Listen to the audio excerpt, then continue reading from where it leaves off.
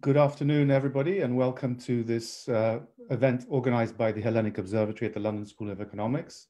And it's my great pleasure today to introduce uh, Dr. Othon Anastasakis and Dr. Foteini Kalantzi, who will be discussing crisis and change, the right of the Greek citizens to vote abroad. Now, as uh, all of you will know, uh, this particular um, topic uh, comes on the back of the vote in the Greek parliament in 2019, which by an overwhelming majority uh, allowed the Greeks of the diaspora to vote from their place of residence. And today's speakers, who are working on a research project uh, on this particular topic, are going to share uh, their ideas and arguments about the context for this vote and what it means, uh, what it could mean for the uh, Greek diaspora in the, future uh, um, electoral cycle in Greece. Let me briefly introduce our speakers today and then do a bit of housekeeping. Uh, our first speaker today is Dr. Othon Anastasakis, uh, who is obviously well known to all of you uh, in his capacity as the Director of Southeast European Studies at Oxford. The acronym is SEESOX. Uh, Othon is a Senior Research Fellow at St. Antony's College, and he teaches on Southeast European politics and European integration and EU politics. And he is currently the principal investigator on two projects very relevant to today's presentation, the Greek Diaspora Project and, the Tur and Turkey's migration diplomacy. Our second speaker today is Dr. Foteini Kalantzi, who is the A.G. Leventis Research Officer at the Diaspora Project in SEESOX at St. Antony's College, uh, Oxford University. Her work focuses on the Greek diaspora, uh, homeland interrelationship. She also includes research on securitization of migration in Europe with a focus uh, on Greece. And she's one of the researchers in the Migration Diplomacy and Turkish EU Relations Project of the Oxford Berlin Research Partnership. Uh, for those of you who are inclined to tweet, uh, Twitter users, please use the hashtag for today's event at LSE Greece. The event is being recorded and will be made available later as a podcast through the Hellenic Observatory website. If you have uh, questions, and I hope you do have a lot of questions for what promises to be a stimulating presentation, please put them in the Q&A function at the bottom of your screen, and I will transfer the questions to the speakers. Uh, and I would just like to remind you that even though this is our last research seminar of the academic year, we do have another forthcoming event very soon on Monday, the 22nd of March. The Left in Power, Reflections on Syriza's Promise and Achievements.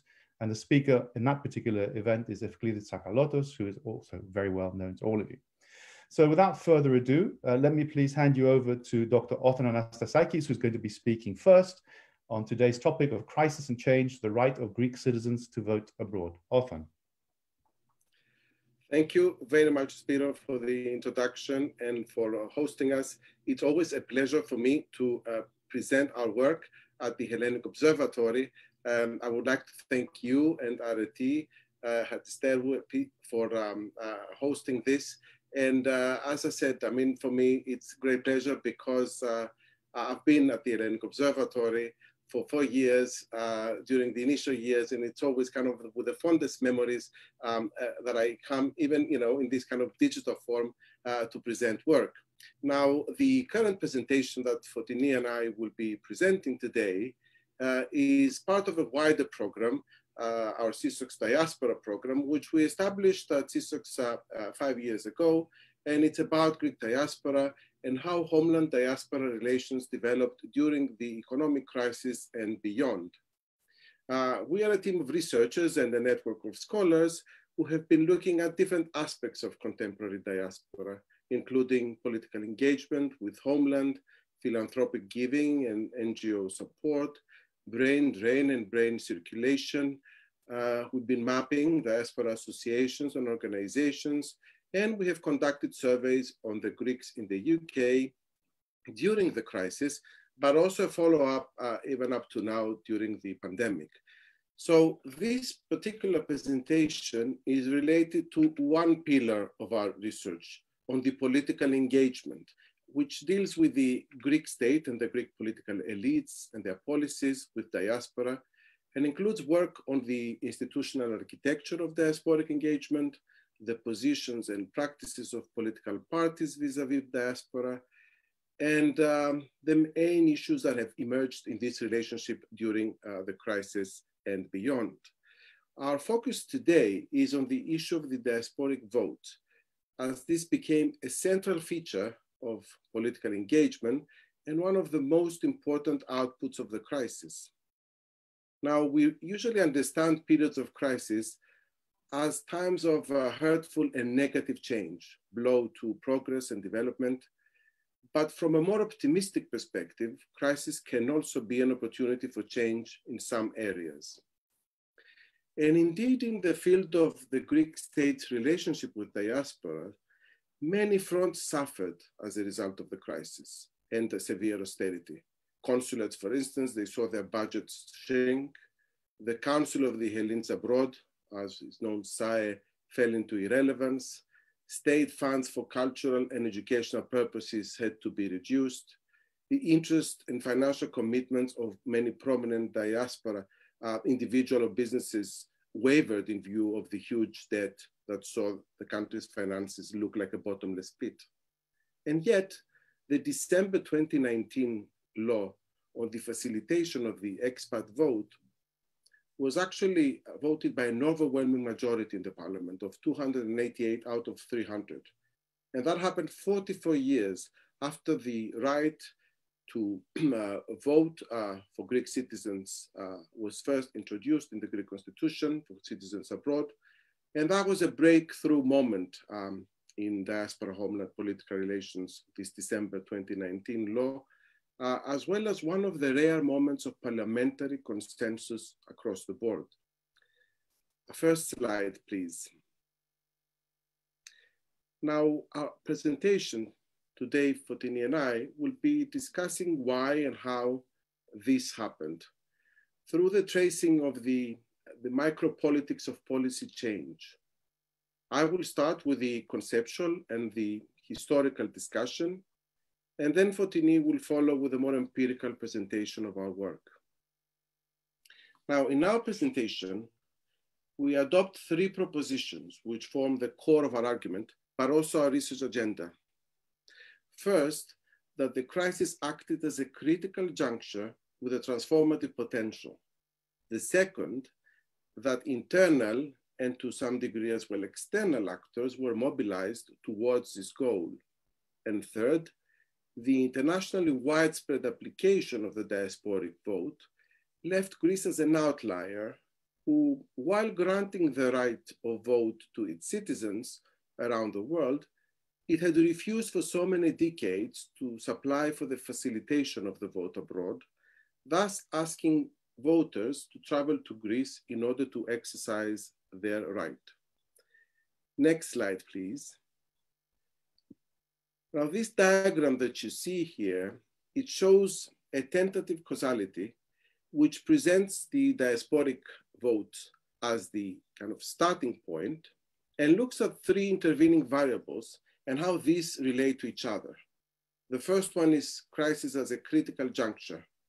And uh, that critical juncture con contains a severe economic downturn, a political shakeup uh, of party politics, and uh, a very big immigration wave. The second variable is agency in the form of political party as the central kind of agents of change in that um, uh, in this respect.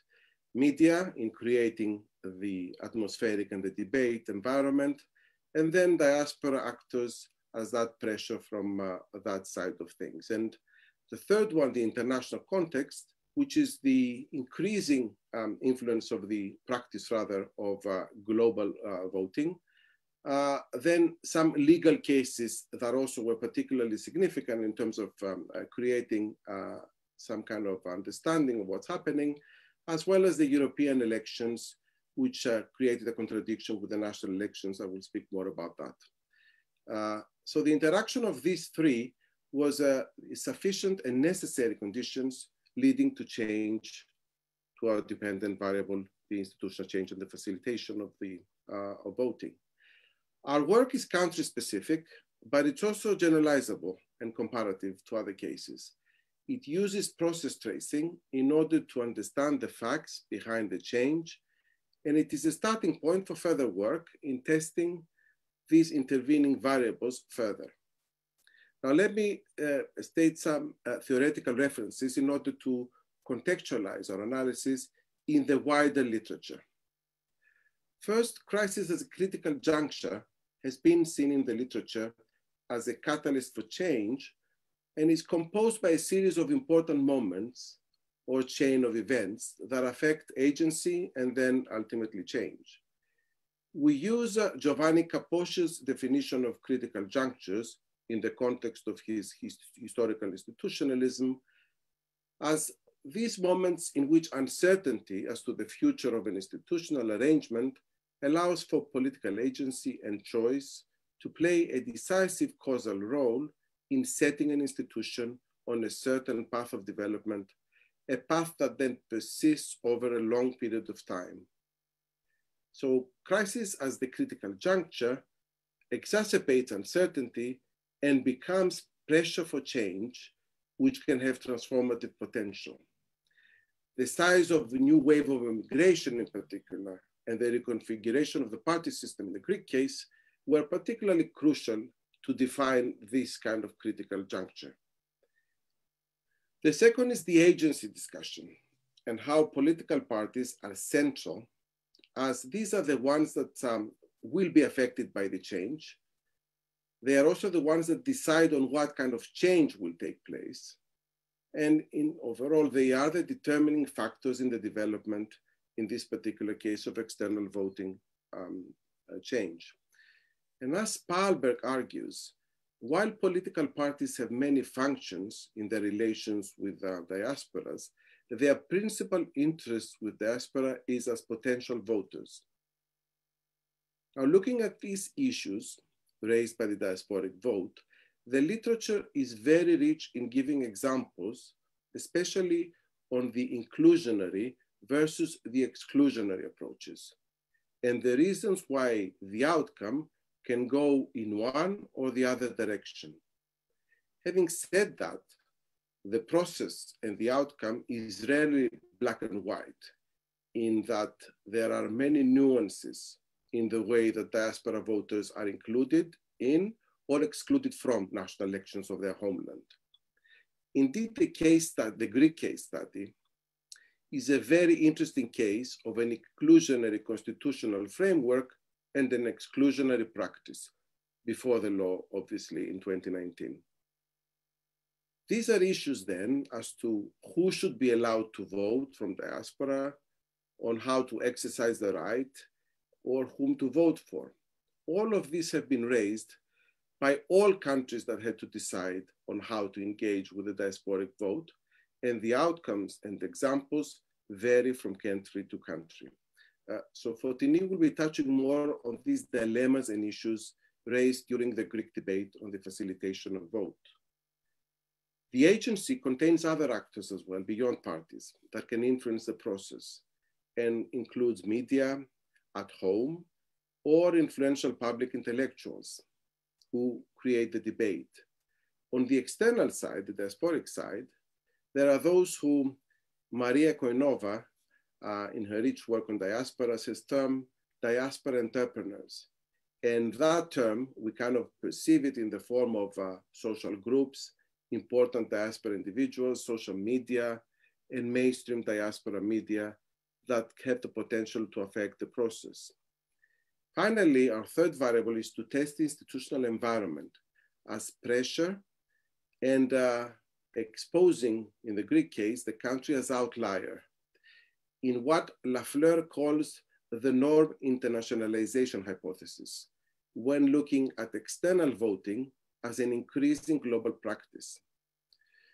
Uh, what uh, Gamlen uh, calls a distinguishing practice of political transnationalism and the diasporas very much defined as a hybrid electoral actor. Next slide, please. I will now give a brief historical account of the Greek case after the 1975 constitution, a milestone in the relationship between the Greek state and diaspora.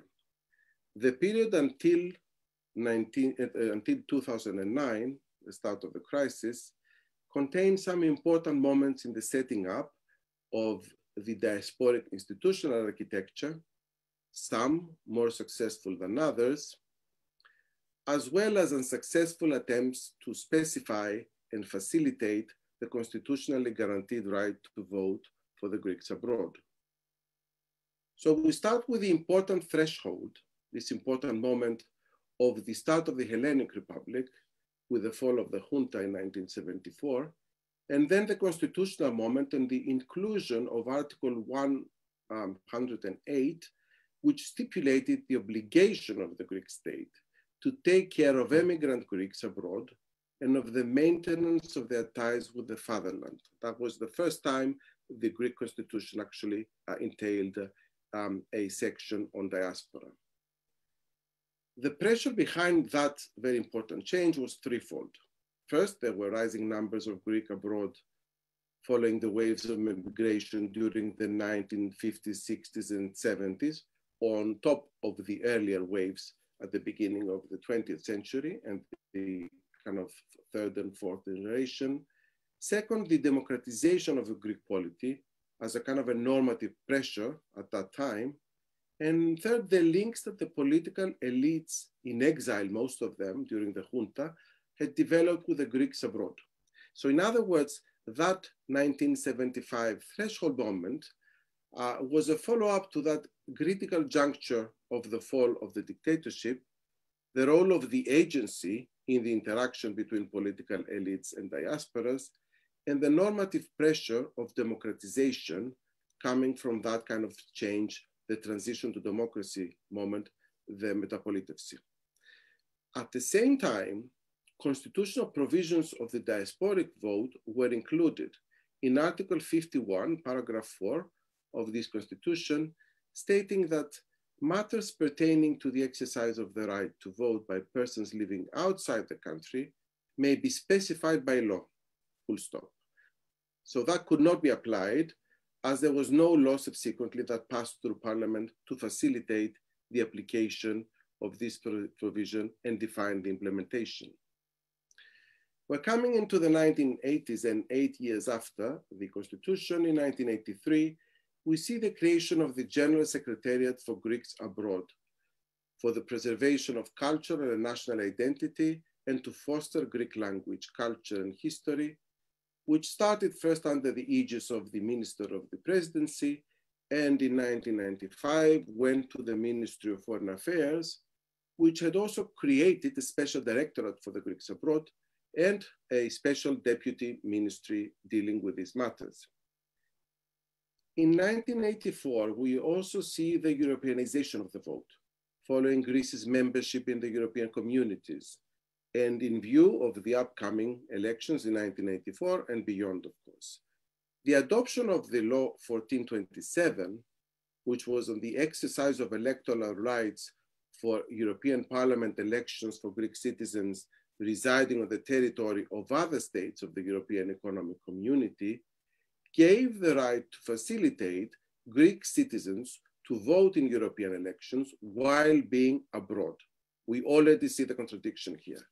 So for Greeks abroad, voting in the European Parliament elections was the only case where the Greek state provided the necessary arrangement that allowed them to exercise their voting rights through the setting up of polling stations in consulates in the EU states.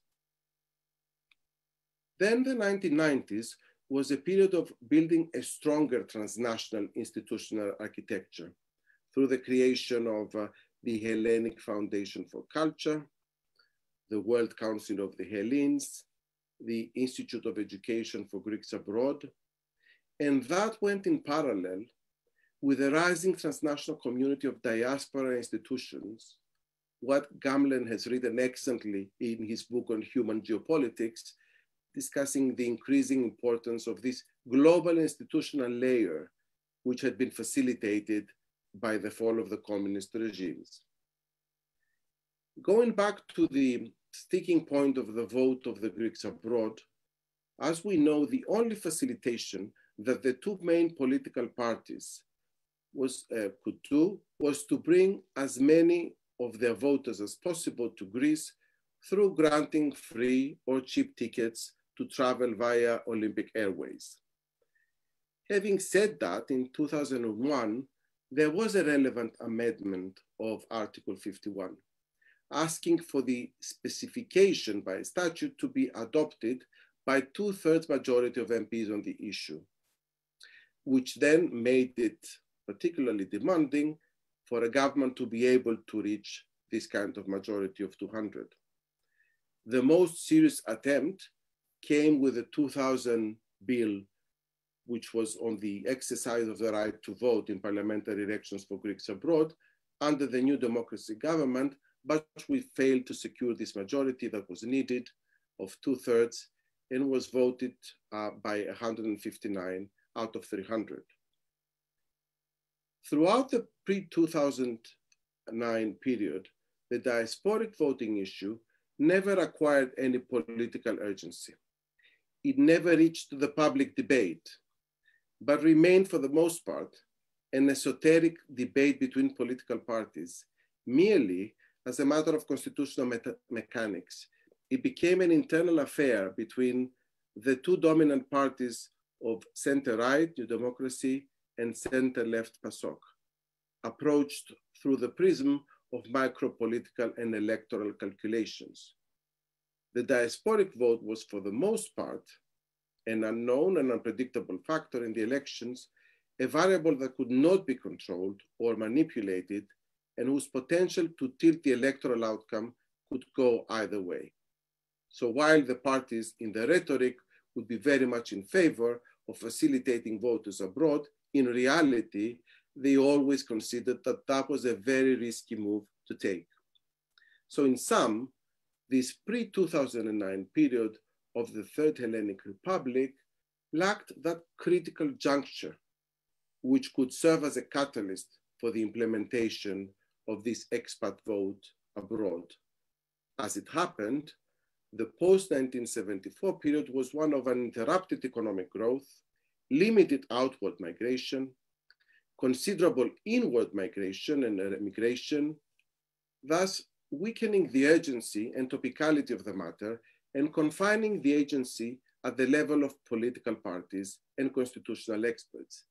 It thus debilitated the role that the relevant agency, parties, press, diaspora actors could potentially play in mobilizing a public debate on the subject and create pressure.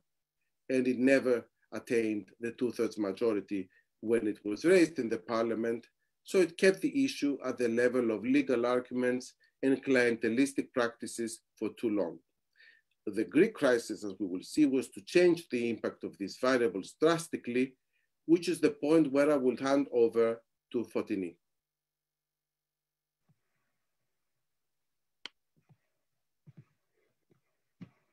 Thank you, Othon. And also I would like to thank the Hellenic Observatory for giving us the opportunity to present uh, our uh, research. So in this second part of our presentation, I will speak briefly about the methodology of our research, and then I will focus on the presentation of our empirical study on the issue. Next slide, please. The methodology that we adopted in order to carry out our research consisted of primary and secondary research, we carried out search and discourse analysis of the Greek parliamentary Hansards covering the periods between 2009 and 2019. We examined debates in plenary sessions, but also within the Special Permanent Committee on Greeks Abroad. We also analyzed the reports of this committee and legal texts from the Greek Constitution, the European Court of Human Rights, and the EU Council decisions. Also, we carried out uh, research on selected online media in Greece and the diasporic ones to understand the public debate, the views of other analysts, diaspora actors, intellectuals, and see the development of the public discourse on the subject matter. Additionally, we conducted our own interviews and panels with experts to get deeper view of the matter. So moving on, I would like to discuss how these three variables, hypothesis that often referred to, namely the crisis as a transformative juncture, the relevant actors as agents of change, and the international norm hypothesis contributed to the adoption of the law on the facilitation of the diasporic vote in December 2019. We claim that this change was the outcome of these three necessary and sufficient con conditions. Next slide, please. So the first variable that I will focus on is the crisis as a critical juncture for reform in the diasporic vote. From 2008 onwards, Greece experienced the impact of the global financial crisis in an unprecedented scale, with a deep recession that lasted for around 10 years, resulting in the, the loss of one quarter of the country's GDP and an increased debt burden. The Greek economy came on the verge of collapse three times, including near exit from the Eurozone in the summer of 2015.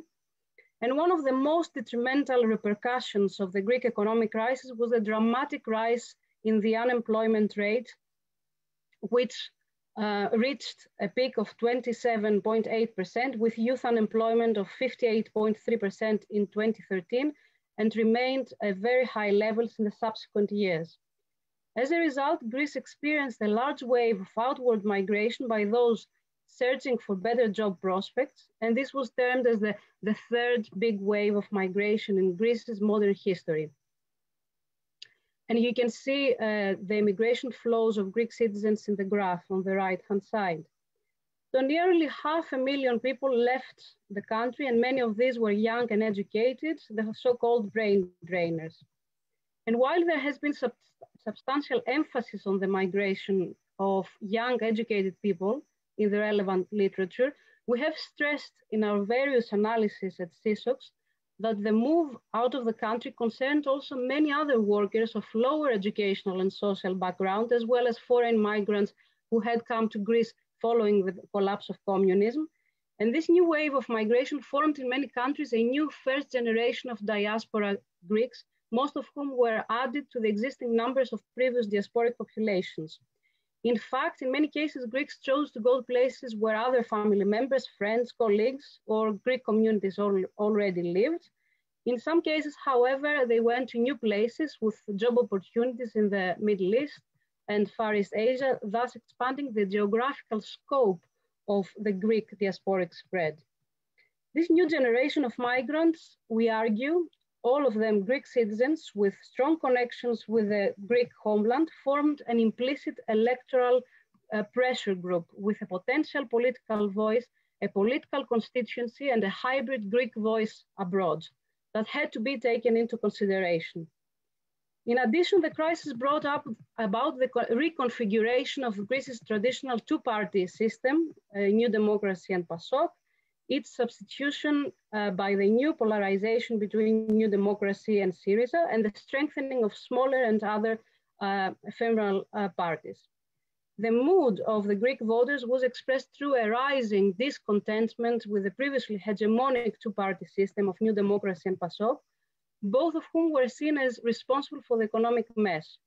The reshuffling of um, the Greek uh, party system was made evident in all the elections after 2012, whereby the center-left PASOK experienced an irreversible downturn at the benefit of the party of the radical left, Syriza, and New Democracy continued to keep its percentages as an alternative pole, yet seeing some of its voters going to the more radical right alternative, uh, alternatives of independent Greeks and the extreme right uh, Golden Dawn. So a major shift, shift concerning the radical left upended the electoral geography with Syriza becoming the new left party in Greece's two-party system, a trend confirmed with the 2015 national elections of January and September. In July 2019, New Democracy came back to power with 39.7% lead. Next slide, please. Moving on to the second variable, I will focus on the role of the agents of change, namely the political parties, the media, and the diaspora actors, following a historical process tracing. The role of the political parties as a main potential beneficiaries or losers of the extended vote abroad is crucial for the understanding of how the matter came to dominate the political and public discourse. In what follows, I will show how the diasporic vote combined with the brain drain became increasingly dominant in the discussions in the party political arena. Originally, originally, in the years preceding the crisis, the diasporic vote would be discussed in the parliament either in connection with the voting rights of legal migrants in Greece or as a proposal or questioned in the parliament, mostly by the Party of New Democracy, who gradually became the most consistent supporter of the subject.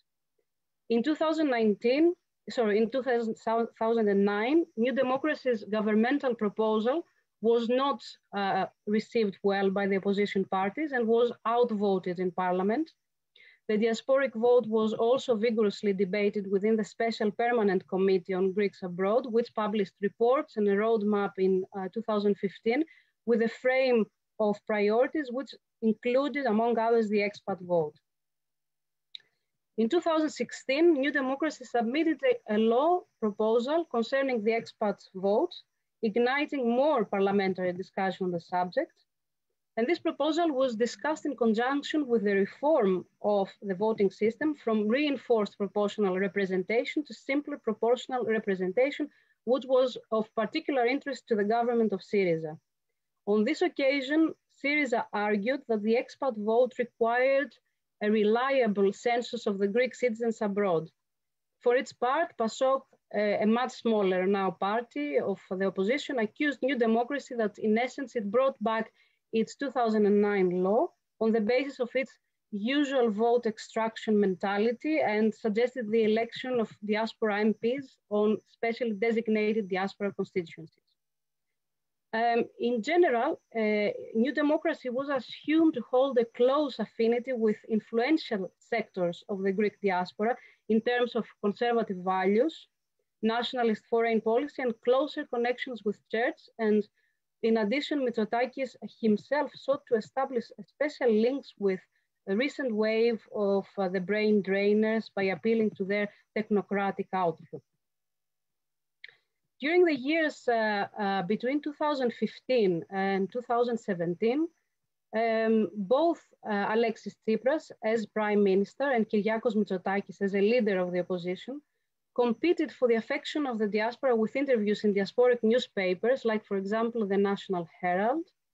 And at the same time, we observe an increased coverage uh, in the Greek newspapers on the expat vote, following the intensified political di dialogue.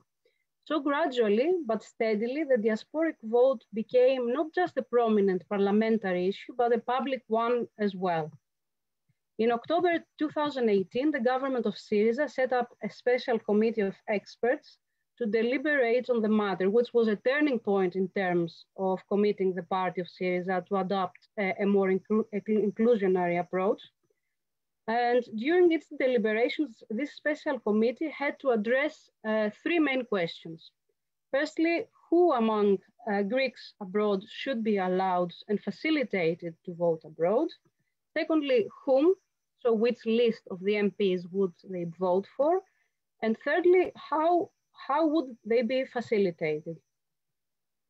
Among the, uh, the most contentious points in the committee's deliberations was whether the votes of diaspora Greeks should be counted in the final election result on the grounds that doing so would give uh, the diaspora disproportionate power over the outcome.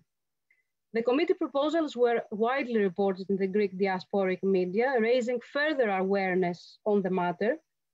Uh, while the report made suggestions on the inclusivity of Greek uh, voters abroad, this did not bring about any law change by Syriza in view of the upcoming national and European elections in May 2019.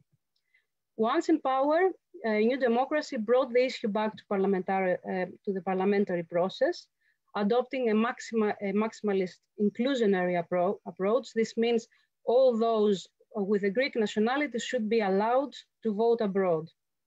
Despite the fact that Syriza disagreed with a new bill on several points, uh, in the end, it voted for the bill, which can be attributed to an increasing climate of consensus uh, that was building up between the government and other opposition parties. And fearing uh, isolation, Syriza withdrew from its initial position, joining the wider accord. And at the same time, New Democracy retreated from its initial maximalist positions in order to find a common ground. Despite now the fact that the main role was played by the, the, the political parties, the role of the diasporic Greeks and groups has to be acknowledged as well. There has been a pressing message from abroad from emerging diaspora groups, like, for example, Brain Gain, or New Diaspora, who express their views through social media uh, from the activism of individuals and other diasporic entrepreneurs.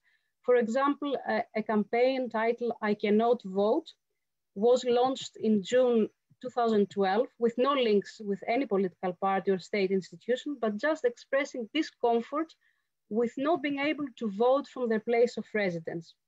Also from our own perspective, uh, the Greek Diaspora Project at SEESOX uh, organized panels on the subject matter and uh, letters in favor of the adoption of the relevant law. In addition, the, um, the active involvement of expats in the elections for leaderships of both New Democracy and Kinal were another clear indication of the diasporic will for involvement in the electoral affairs of political parties, which is also consistent with the traditional pattern of the two political parties uh, having been politically active abroad. Um, generally, we cannot measure the impact of such external actors, but what uh, this shows us is that the mobilization of the diaspora in the new digital world is becoming increasingly obvious and multifaceted. Next slide, please. The third variable of our triptych concerns the role of the international normative environment.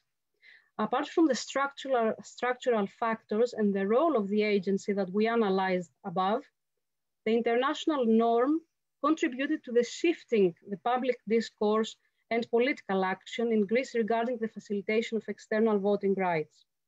Looking at the wider uh, map of voting abroad, uh, Greece had become an outlier in the sense that the big majority of countries around the world, and specifically in Europe, was facilitating external voting. A research in 2007 showed that um, uh, external voting had been allowed by 115 countries and territories in the world. Of those countries, some two thirds allowed all their citizens to, vo to vote from abroad, and one third did not allow the right to an external vote, as you can see in the map. Next slide, please.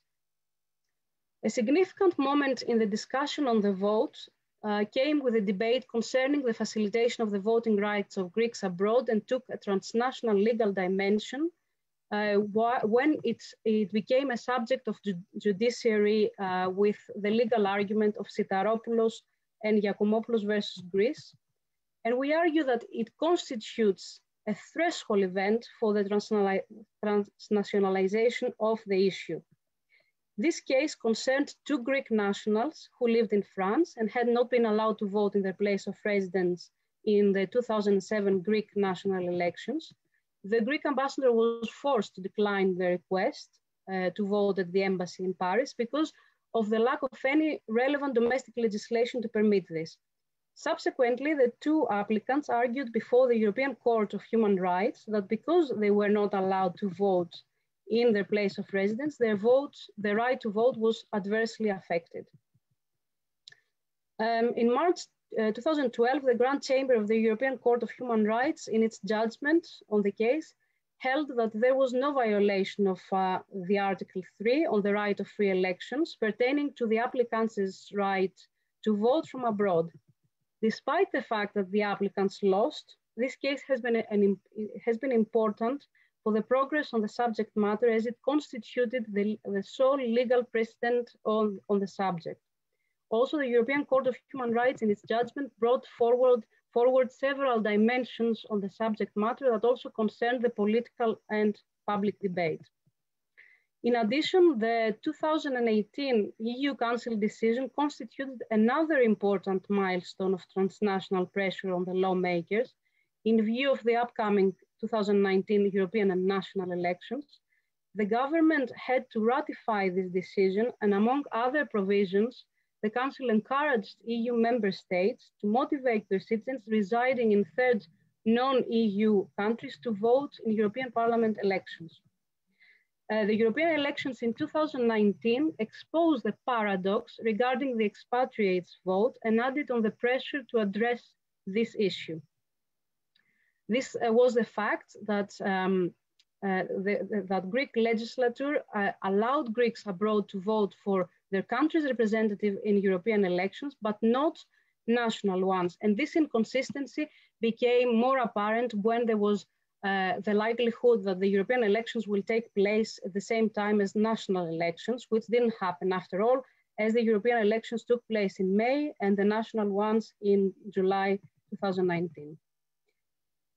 So to conclude, um, and next slide, please. Uh, in December 2019, the Greek parliament voted in favor of a bill that facilitated the voting rights of the Greek diaspora.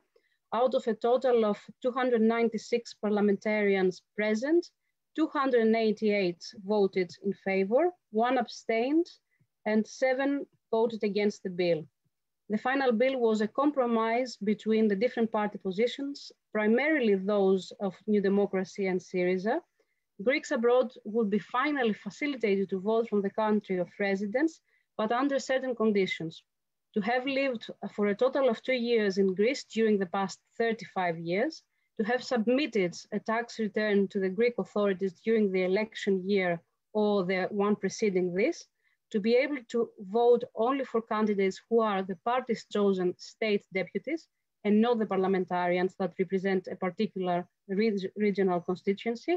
And the law also required them to select areas where polling stations would be set and could only vote if there were 40 voters eligible to cast their ballots in their districts. Uh, next slide, please. Finally, the fact that this reform took place in the year 2019 it's not a mere chronological coincidence, but has to do with a number of factors connected with the long economic crisis and the significant sociopolitical changes. And also the facilitation of the diasporic vote redefines the relationship between the diaspora and the homeland. What lies ahead is the implementation of this constitutional and political change, which will entail uh, numerous practical changes and decisions. Thank you.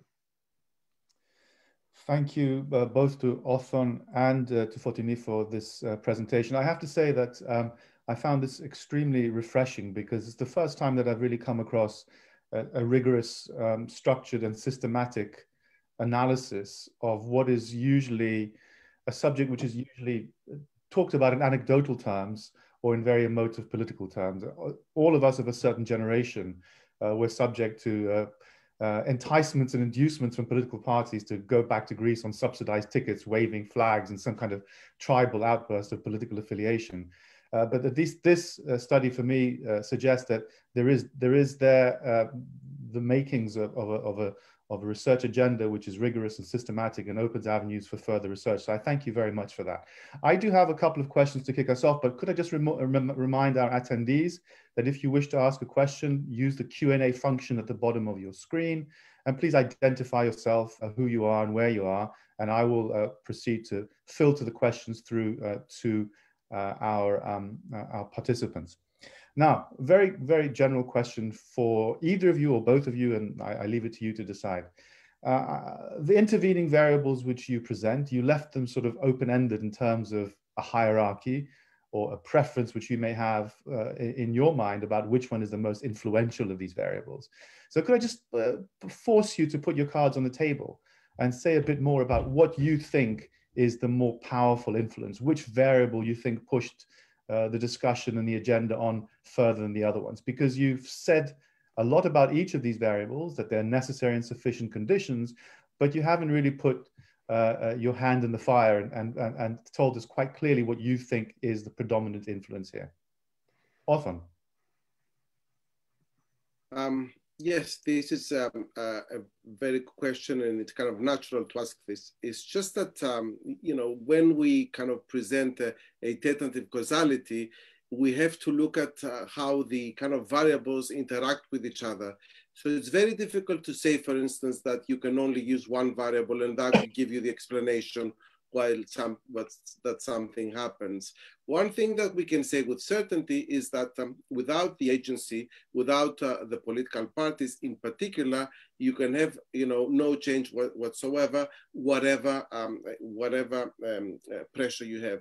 Now, if I had to say what would be the less significant of the three, I would say is the normative pressure because during the 1990s and the 2000s in particular, there's been an increasing kind of um, uh, transnational and global practice uh, of voting. And yet, you know, Greece will continue along its own kind of way of uh, exclusion. So that normative pressure, while it's very interesting to discuss in order to contextualize Greece as an outlier, I believe is not it, could be the less significant. But you definitely need that kind of threshold moment. That's our argument. You need the threshold, the critical juncture in order to create the environment. That's why I also made in my part of the presentation that kind of the kind of distinction between a period of affluence and immigration that didn't, you know, didn't give the need for anyone to discuss the topic and how with the immigration. So if I were, just to make a long story short, to conclude what was the crucial factor was the wave of immigration that really put the question there. It's like, you know, a very uh, fresh and dynamic part, which was very attached to Greece, left all of a sudden very quickly. And I think that was actually a very big pressure for the parties to consider. For the um, I think that uh, uh, we have to take under consideration that um, uh, the parties were the main uh, actors that actually shifted the, the, the, agenda. I mean, they placed the, the diasporic vote uh, in the epicenter of the political dialogue when speaking about diasporic issues.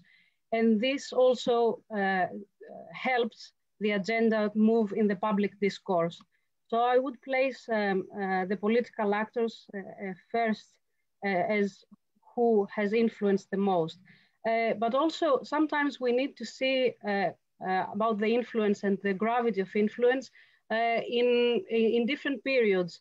Because if we look at the Syriza government, um, when they decided to, to form this committee, it was interesting because before they were they had um, they had their um, uh, a different conception about uh, the diasporic vote, but they changed uh, their mind.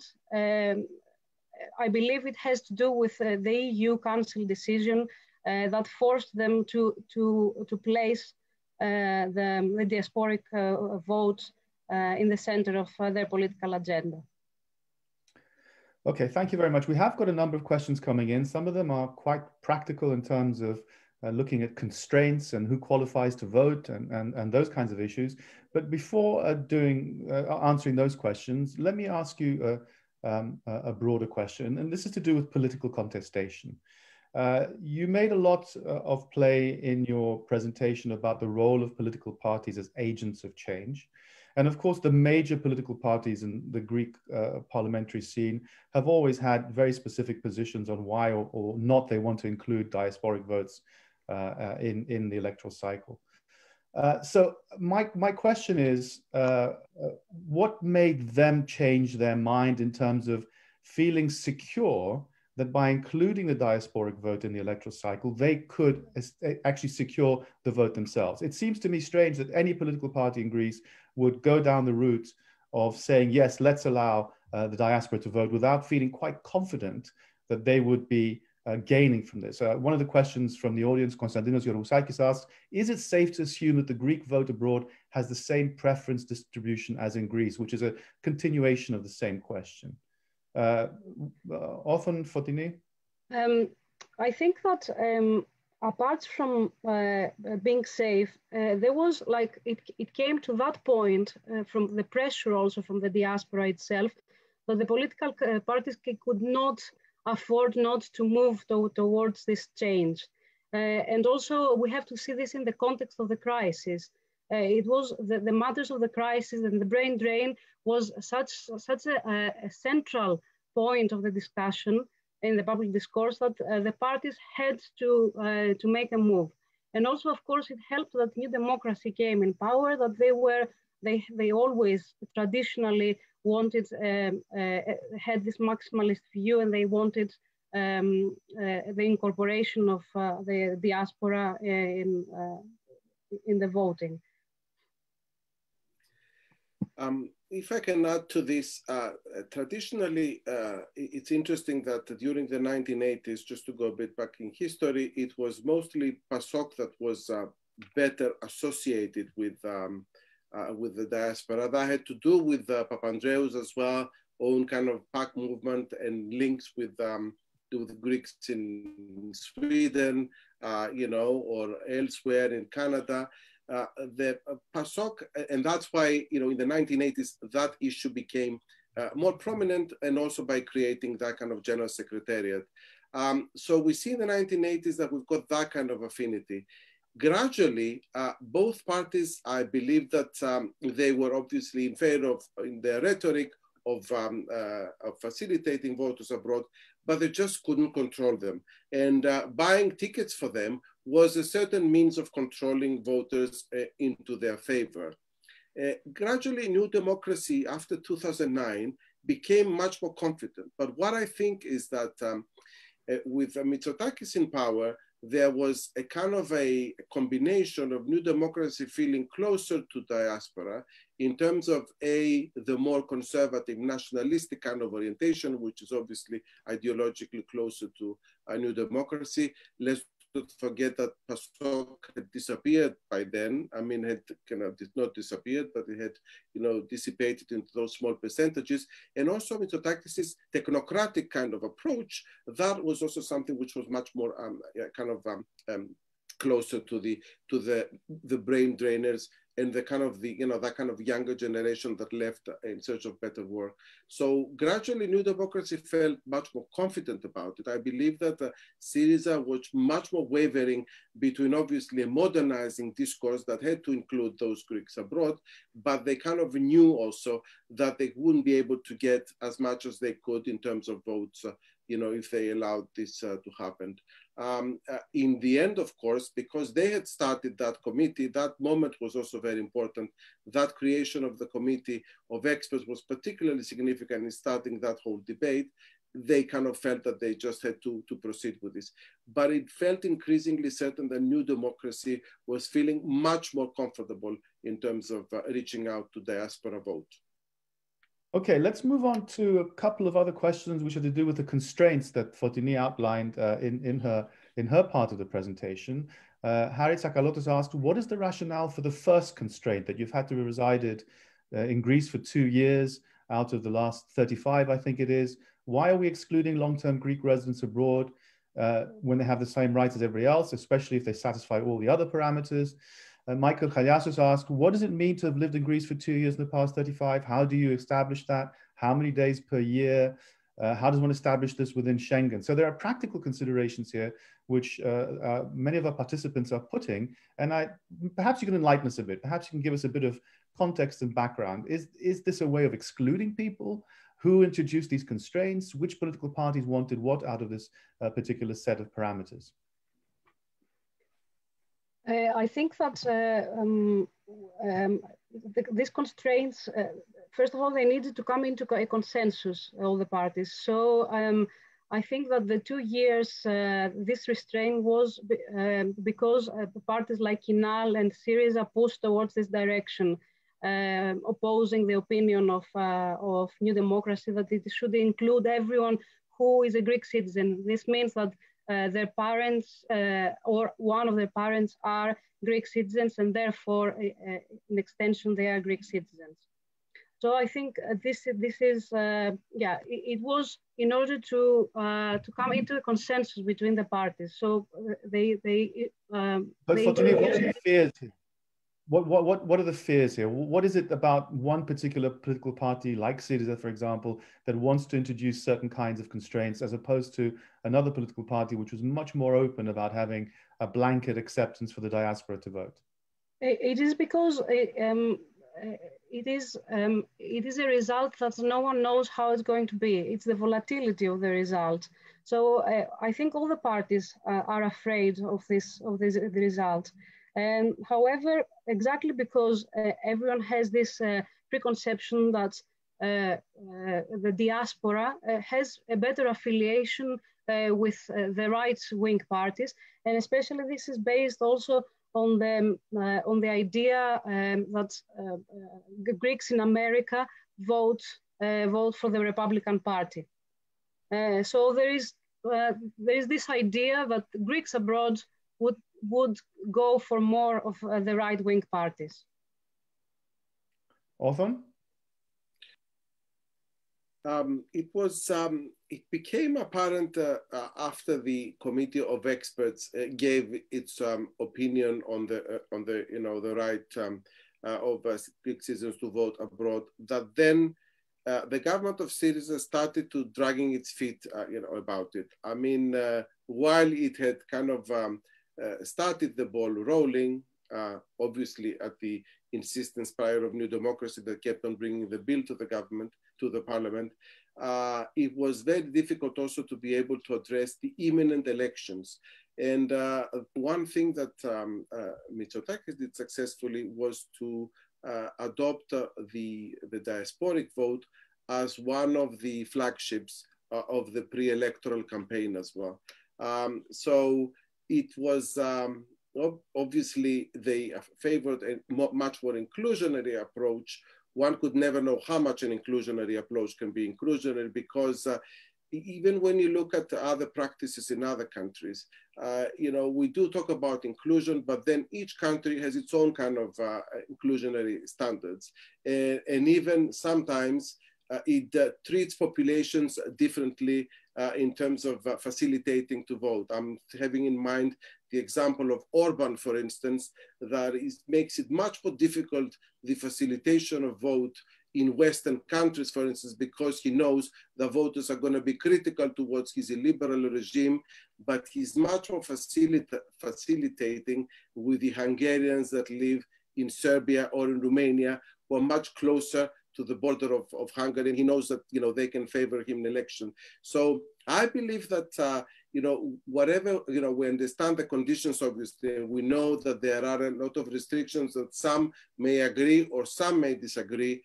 The proof of the pudding is going to be in the implementation and how this is going to be implemented. I mean, what kind of facilitation is going to be given. And also another consideration we take is that uh, usually Greeks abroad, they don't tend you know, to go and vote en masse. The experience of the European election shows us that uh, either they are a bit indifferent or some of them have a choice to, you know, to do the European elections in the country where they live or to vote for their uh, motherland. They may choose, you know, either side. Um, so we need to see, that's why the moment of vote was important in itself. It is a kind of an inclusionary moment, but we need to see how this is going to implement it. Because as everything, adoption is one thing, implementation is the most important thing.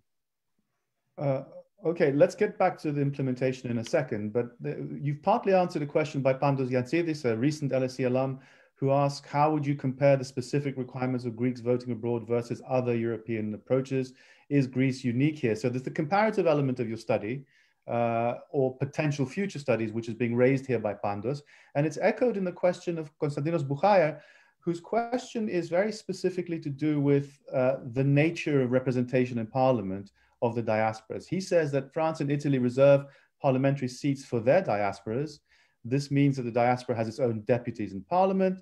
Can we expect a day when Greeks abroad will have their own representative? Uh, he also adds that, for instance, and no doubt SEESOX knows best because of its research, in Britain we have over 75,000 Greeks eligible to vote. Uh, that is just about the size of a a constituency uh, in Greece. So what can we expect? Uh, this is part of the implementation, but it's also part of a broader comparative element. What do other countries do? How is Greece different? Is it unique? Can it adopt and adapt to existing standards? And what will happen actually uh, when the vote gets when the vote is in? Foteini? Um, I think that uh, Greece was at the same level as uh, Ireland uh, if we want to compare, there, there were two diasporas with uh, very big, uh, two countries with a very big diasporas, and they were the two outliers um, of the diasporic vote in comparison to all other European countries. Uh, now, on the specifics of uh, the requirements of every country, uh, I'm, I, am not very sure how, how to answer. Um, I know that uh, Italy uh, follows uh, quite an inclusionary approach and France. Um, so, um, yeah, I'm, I'm not sure. Um, that uh, uh, is a point that uh, I, I, believe requires a good comparative analysis. The, the answer, the quick answer to this is that uh, uh, every country adopts a kind of a different model in terms of uh, how many to, um, to engage. In other words, what kind of restrictions to put, you know, in the years that they have been in the country or whatever. It also varies as to whether they will um, vote for diaspora representatives or for those who are the deputies, uh, uh, you know, in, in homeland. Uh, and um, so, you know, and also how inclusionary the, the overall process is going to be. Um, that I believe requires a very, you know, interesting um, comparative study of how countries, you know, behave. There are some countries that are know that they are particularly um, affected by elections um, abroad, like when we, for instance, look at countries like Romania or Bulgaria, because of that kind of very big immigration wave uh, from these countries, and these countries and those people abroad, they actually keep in touch with politics at home, and often they can also make a difference. I'm thinking of the case of um, uh, President Iohannis in Romania, who has a particular connection with the diasporic uh, population. Uh, then there are other uh, uh, systems that, like for instance, in the case of Turkey, where Erdogan, you know, an, an, autocrat basically, he kind of mobilizes the diasporic population abroad and does that actively in every electoral campaign. But he also knows how the Turkish diaspora is kind of divided because it's not a homogeneous kind of um, body. There are those who are in favor of the regimes, but there are others who are either left-wingers or there are those who have been expelled by the, by the country.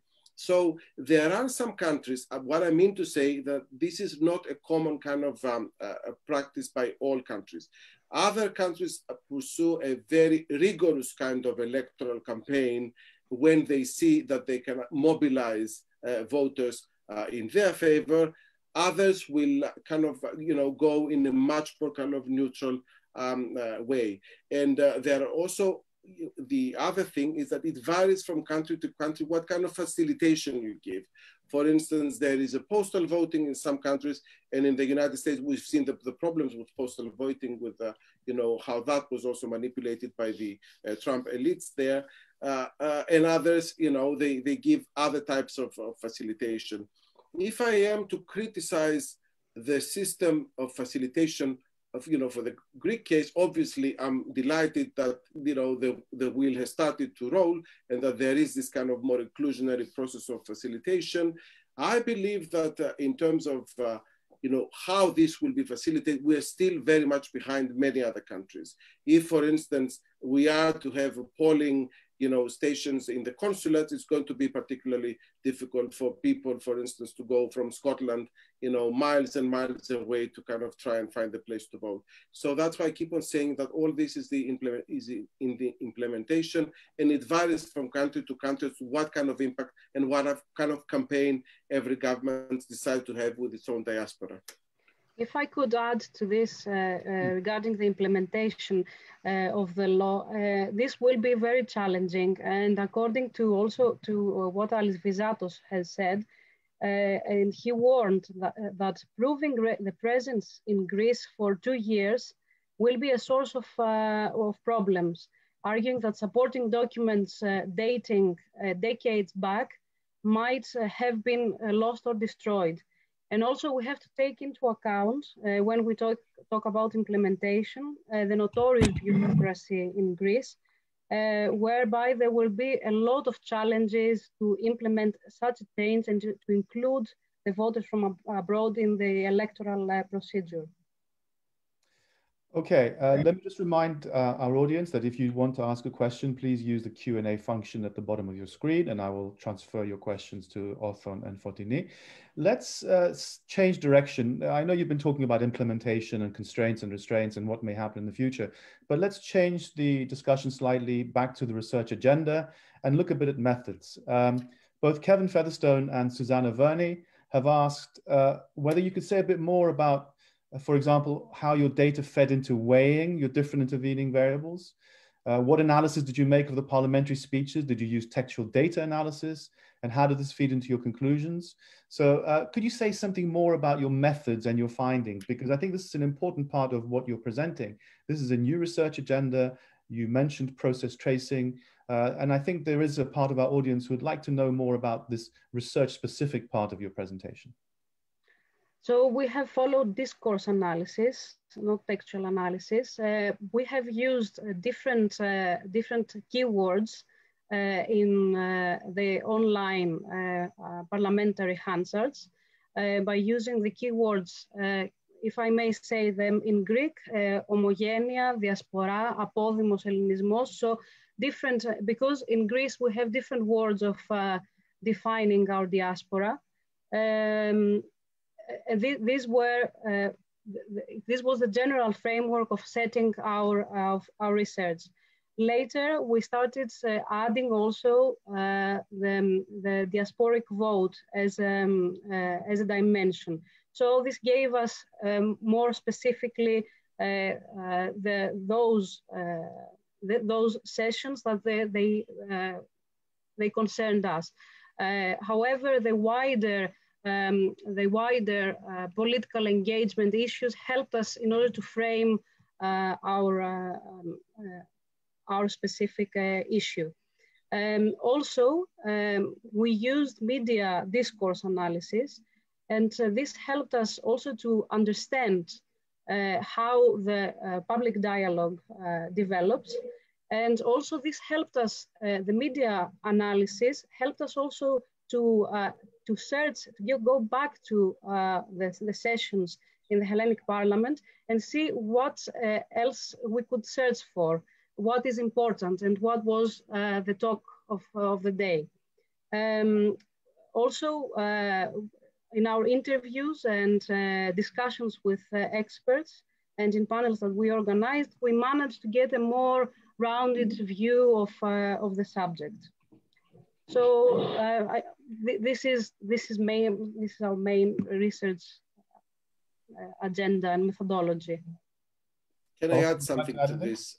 yes, I would like. Uh, and um, uh, indeed, uh, our initial uh, in intention and, um, uh, and uh, decision was to go directly to the parliamentary Hansards and start looking by putting the term and then looking at the frequency of the debate and then starting to see what kind of positions the different governments would take and what kind of issues they were also addressing. So it was also, not, uh, we could see then, they wanted to see the frequency of the issues as well, uh, in the sense that uh, there was a talk about um, taxation, there was a talk about uh, the language and culture. Uh, there was a talk about how diaspora could help economically the countries in terms of investment. So there were various issues that were being discussed um, in the parliament. Uh, so in this particular presentation, what we have tried to do uh, is to uh, zoom in uh, to the issue of vote in particular. So we just left the other. Uh, they were significant at the beginning, but as it were, and because we had an outcome and you know, and this transformative potential that we wanted to emphasize, it was actually the vote that helps us understand the impact of the crisis on that kind of change. And at the same time, we are also trying with this um, uh, presentation to offer a way uh, in order to do particular research also. So one could, for instance, say, I'm going to look at the position of parties exclusively and then do a more quantitative analysis or a computational analysis of how often the issue of vote appears and what it tells us about the discourse and the positions and whether there are any differences between parties with Foteini, then we thought that it was interesting to give the wider atmospherics as well. That's why we also included in our work the other variables and then looking also at selected media eh, you know, the two newspapers that we emphasized our work was mostly Kathimerini because there were a lot of articles about diaspora as well as To Vima and also the Ephemerida to Syntacton. So we had, the, you know, the kind of uh, right center, uh, you know, and, and, and left wing uh, argument. We looked at some very representative um, uh, newspapers, which were diasporic uh, newspapers. And then we also used some information from our interview. It's a very qualitative kind of, um, uh, you know, of, of, analysis that combines all these kind of, uh, you know, methods of, of, of tracing uh, and trying to understand, you know, the discourses and the nuances in the debate. And if okay. I may add, uh, also we can see an increase uh, in the coverage of, uh, of diasporic vote towards 2018, 2019, especially in the diasporic media um, we see like a crescendo of, uh, of, um, of coverage uh, on, the, on this particular issue. Okay, uh, Kevin Featherstone had a follow-up question, which he was typing into the Q&A while you were speaking often, and in the process you answered it. So uh, thank you very much for, for uh, gazing into your crystal ball and, and, answering that question as well. Let me take you back to one of your intervening variables, because um, you talked about the um, the crisis as being a transformative uh, variable in a sense. It, it, it, was the eurozone crisis, the Greek uh, economic crisis, that was the real context in which this uh, this parliamentary consensus was forged, and and and this electoral law uh, was this diasporic electoral law was passed. But it seems to me that what you're really saying, if I haven't uh, misinterpreted you, it's not the economic crisis; it's the brain drain it's the it's it's the the emigration part of it that you think really tipped uh, the process uh, over the edge uh, and created this electoral law. Would that be fair enough to say? Would it be fair enough to say that you have to narrow it down very much to to to the brain drain and not simply put it in the general context of economic crisis?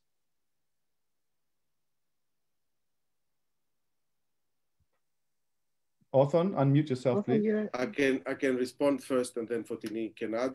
First of all, just let me say hi to Kevin. And uh, thank you very much, uh, Kevin, for hosting us. And it's wonderful to have your questions as well as all the other questions, of course. Um, so what I would like to say in terms of uh, that particular issue is that, uh, yes, for me, is the, the issue of uh, drain, brain drain and that kind of particular um, uh, generation that left the country that was the loud voice, the, you know, the exit with a voice that kind of could not be stopped and it had to be uh, taken into consideration.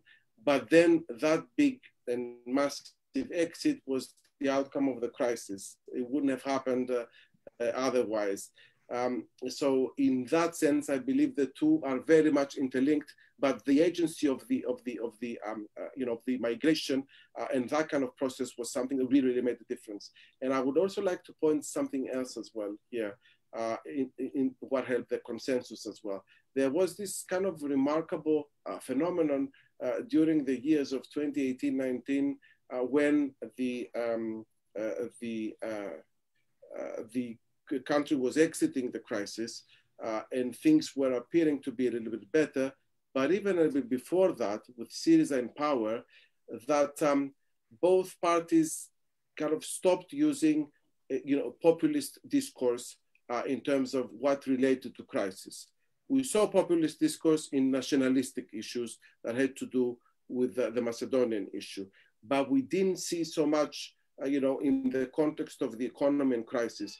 There was a kind of a consensus, very reluctant from both sides, especially from the side of Syriza, that they had to work towards a certain economic policy, and there's no way. Um, you know, so that also created a climate of less and less populism.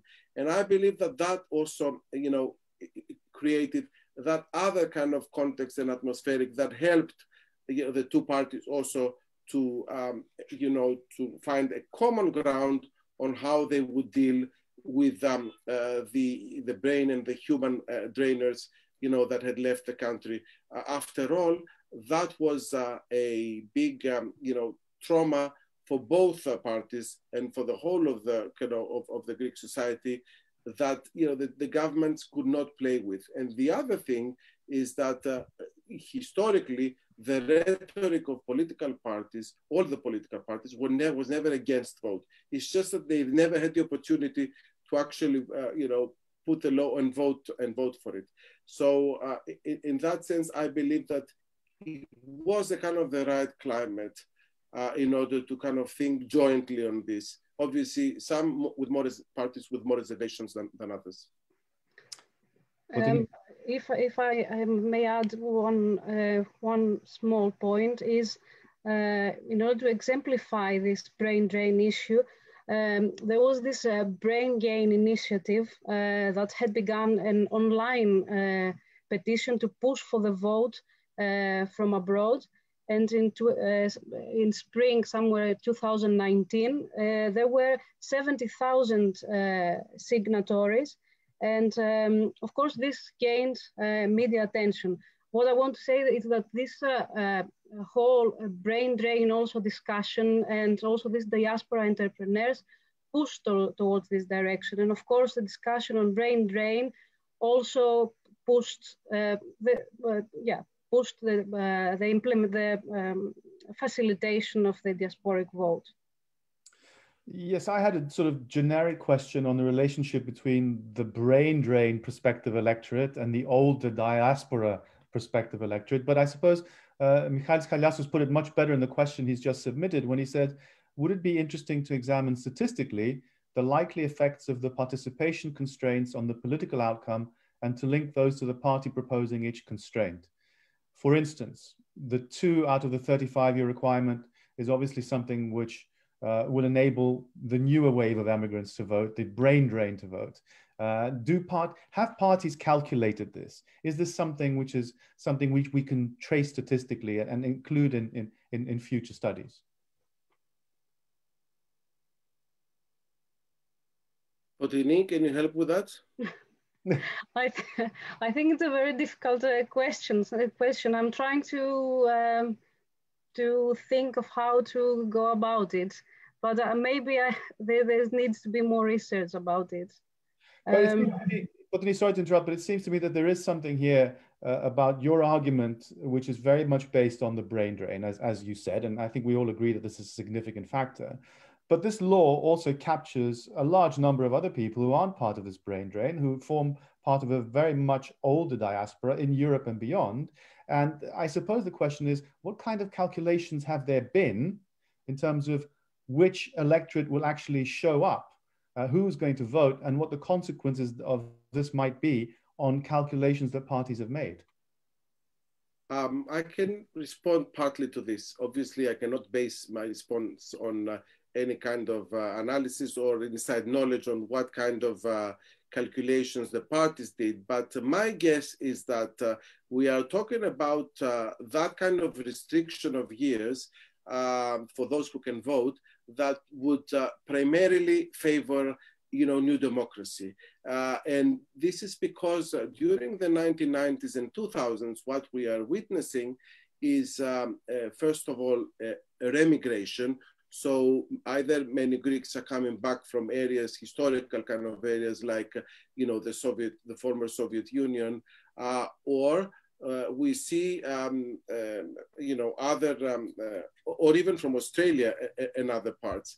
So, I mean, apart from uh, those East Europeans or others that also came uh, to find work in Greece, the ones who decided to uh, leave the country, they did it out of uh, choice. Now, our colleague um, Manolis um, Pratsinakis has written a very interesting article on the distinction between uh, choice versus being forced.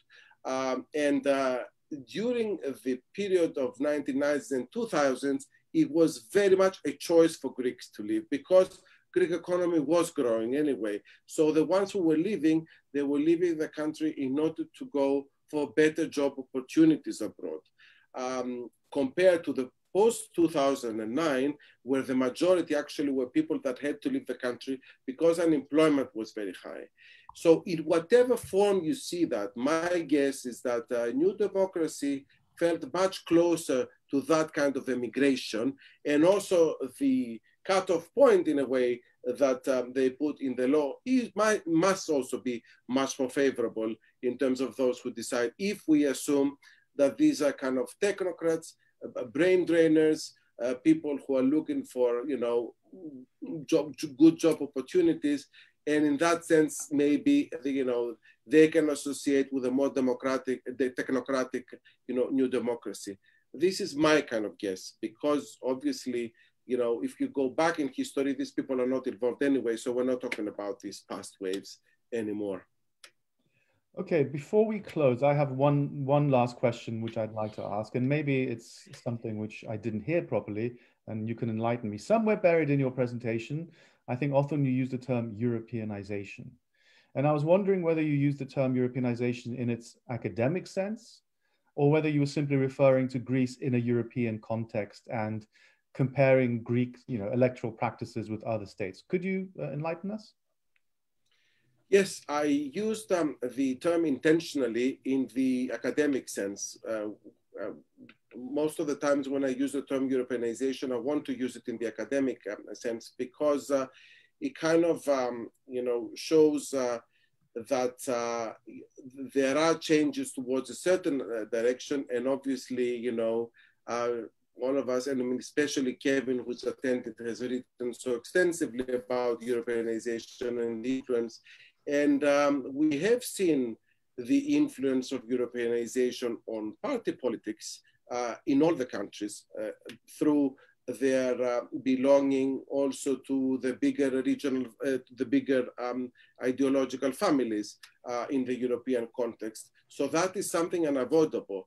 But what's interesting about European elections in particular is that uh, while the, you know, that, that decision was particularly pivotal, because it did allow Greeks to be able to vote abroad, um, uh, and they were facilitated that. It's of course it's a uh, it's a mystery how the political elites in Greece were actually allowed to uh, you know to get away with not facilitating the uh, voters for national elections and how the clientelistic Greek system continued kind of to operate uh, in the way that it did. Um, but um, I did use it in the sense that there was some kind of a change and a different kind of thinking that started in the 1980s.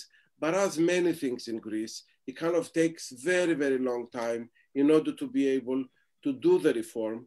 And then obviously, once you do the reform, you have to see how this is going to be implementing.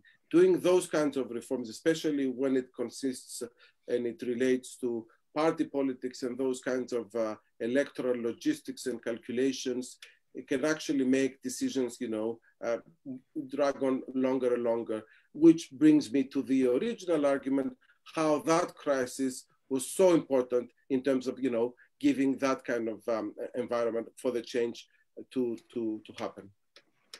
Okay, one last question has just come in from somebody who I think you know often. Yorgos Milonadis asks, what is the range of predictions, yours or other analysts or politicians or commentators, about the number of people that are likely to vote under this law? Uh, what, what kinds of figures are we talking about? Does anybody have a ballpark figure? Um, uh, yes. Actually, um, there's a new online platform uh, that has been set up by the government for the Greek citizens uh, to live abroad. And it will allow them to register their details so they can um, uh, cast their ballot at their place of residence. So it's uh, the Ministry of Interior says that uh, they are expecting 300,000 Greek citizens abroad that they will want to register to vote in the next election and this is uh, this is the first uh, um, this is the first estimation after the voting of uh, of uh, the 2019 uh, law bill. Okay, we are um, running out of time, and we've also, in a sense, run out of questions. And I'd just like to wrap up by, apart from thanking you both for for for, for joining us today and and and making it possible to have a Hellenic Observatory research seminar on this topic, I'd like to thank you both for uh, providing an academic setting for a hot political debate. And I think what you've done, apart from your own work, uh, apart from your own work, is also uh, open the research agenda for future work. Because I think the questions you've received and the answers that you've given show that there's a lot of scope here for uh, comparative work, for methodological refinement, and for other aspects of digging a bit deeper into your variables, which I think uh, is going to be very fruitful in the future. But I think from your comments, I also would suggest that implementation is going to be the most indicative factor here. Whether we actually get to this, uh, uh, get through this process and get to the stage where the diaspora actually votes and is actually represented in parliament uh, is going to be a, a, tremendous step forward. And I think there are so many constraints and restraints here that it could be a long time before we see this particular electoral uh, law come into fruition. Uh, Othon Foteini, personally, I'd like to thank you very, very much for joining us today and sharing your thoughts.